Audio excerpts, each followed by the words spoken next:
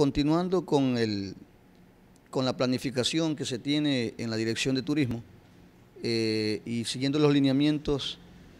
del director de Turismo, se está en toda la fase de, culminación ya en la parte de la organizativa de lo que es de lo que va, va, a ser la novena edición de la regata de calle Puerto López 2018. Para el efecto, pues, eh, ha sido importante mantener una reunión de trabajo con diferentes responsables de áreas departamentales que tienen que eh, inherencia en el apoyo y el desarrollo de la competencia. Eh, dentro de la planificación de este evento, pues estaba contemplado la, esta reunión de trabajo, en la cual se elaboró un listado de requerimientos. A todos los compañeros pues se le ha solicitado el apoyo respectivo y esperamos porque eh, esta edición eh, sirva para fortalecer y para seguir posicionando el deporte del kayakismo en el Cantón Puerto López, considerando que es la primera competencia, la única competencia que tenemos en la zona sur de Manabí y una de las primeras que hay en la, en la costa de Ecuador, Prueba de eso es el, es el interés que tienen muchos eh, deportistas, muchos competidores de diferentes instituciones que han confirmado ya su presencia en, este evento que se realizará el día domingo 11 de marzo en el Malecón de Puerto López y para el cual pues, eh, creemos que es importante eh, ajustar detalles en la medida de que, la competencia pues, tenga el éxito esperado y que esto siga contribuyendo a la llegada de turistas y visitantes a Puerto López en esta temporada. Bueno, el, evento es el día domingo 11 de, 11 de marzo, ¿no? Eh, empezará, eh, bueno, empezará a las 9 de la mañana con la entrega de números y registros de los deportistas. Eh, la, competencia en sí, la, la regata en sí, se dará inicio en el, en el malecón a las 10 y 30 de la mañana, es más o menos una hora de competencia, luego pues se promulgarán resultados y finalmente vendrá la premiación, ¿no? Eh, la premiación a todos los deportistas pues eh, recibirán medallas de participación, eh, trofeo a los ganadores y obviamente producto de los auspiciantes que se sumen a esta, a esta competencia. El, el objetivo del gobierno municipal y una de las misiones que tiene el señor alcalde Miguel Plúa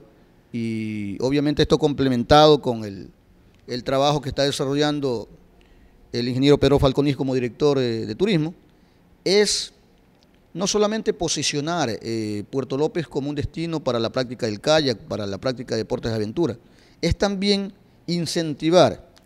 a los deportistas nuestros a que practiquen algún deporte que de alguna manera va a incidir no solamente en el aspecto eh, de salud, el aspecto de cada deportista, sino que también nos ayuda a en algún momento eh, poder tener talentos en talentos eh, con un amplio bagaje deportivo que puedan representar a Puerto López en competencias no solamente a nivel nacional, sino internacional. por ese motivo, pues, hacemos también la invitación a todos los, deportistas o aficionados de Puerto López. Este año, con la finalidad de incentivar todas las participaciones para los deportistas nuestros de manera gratuita. Recordar también que este evento eh, que se organiza por parte de la municipalidad no se lo hace con el objetivo de, generar recursos para la municipalidad. En ocasiones hay una pequeña eh, tasa de inscripción que justamente es para eh, solventar algunos gastos logísticos, que son, son muchos. Obviamente muchos de todos esos gastos pues lo hacemos mediante autogestión. Sin embargo, eh, esta vez se ha decidido que todos los deportistas nuestros no pagarán ninguna inscripción. Las inscripciones ya están abiertas aquí en la Dirección de Turismo. Pueden acercarse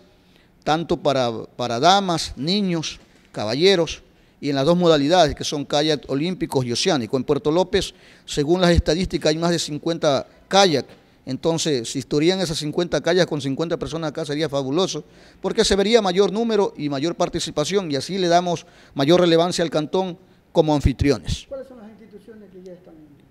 Bueno, al momento han confirmado dos instituciones, que es la Escuela Superior Naval de Salinas, la Escuela de Grumetes también de Salinas, que durante las últimas seis ediciones han estado presentes acá. Básicamente existe una rivalidad sana, si se puede llamar, entre estas dos instituciones de formación militar, que escogen a Puerto López como un lugar de entrenamiento para sus competencias. Está también por confirmar la Federación Ecuatoriana de Remo. Esperamos que eh, poder brindarle alguna facilidad para que vengan.